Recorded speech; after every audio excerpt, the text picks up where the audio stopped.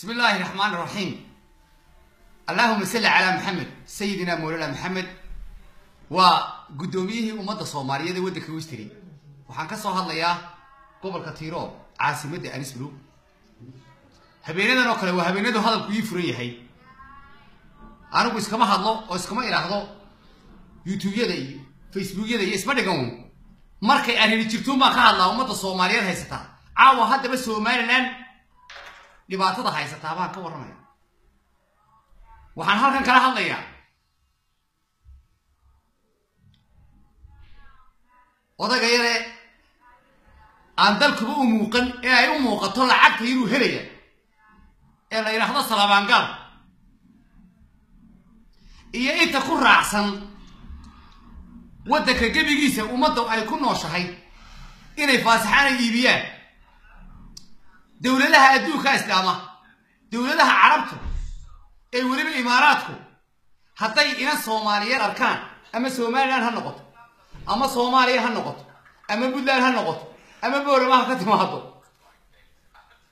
ama kismaayo ha ka timaado wallaahi one day hadday ciqaamad ku dhacda inaanay insaannimada iyo bini-aadanimada inaanay aqoonba markaba waxay saaraan diyaarad iyadoon hal gariima sidin.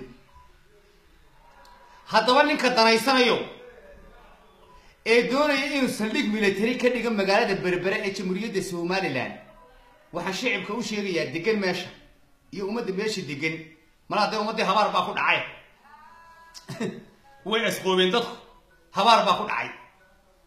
Maanta markaan daawanayay baarlamaanka jamhuuriyadda somalilan ee isdilaya aan shaashadaha caalamka ka daawanayay waxa ka muuqday raggu saleebaan ugu horeeyo ee ay u muuqatay dhowr iyo tobanka kun ee bilyan ee laga qaadayo imaaraadku siduu u qaadan lahaa intiisa. Wallahi way ka muuqatay billahi watallahi waan arkayay ka waan arkayay.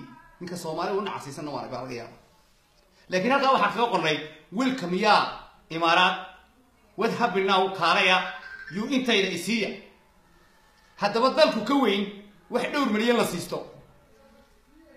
Waxaan haddaba baarlamaankii maanta la xidhay iyo raggii feerka iyo dhibaatada iyo bugta iyo digta loo geystay ilaahay caafimaad u soo weydiinaya ee aragtida iyo aqoontaba dheer leh ee doonaya dalkooda inay ilaashadaan oy nabadgelyo ku ilaashadaan oonu imanin. Nin aan cidibo ka kicin karayn waxaan leenahay dib hooga noqdo madaxweynaha jamhuuriyadda somalilan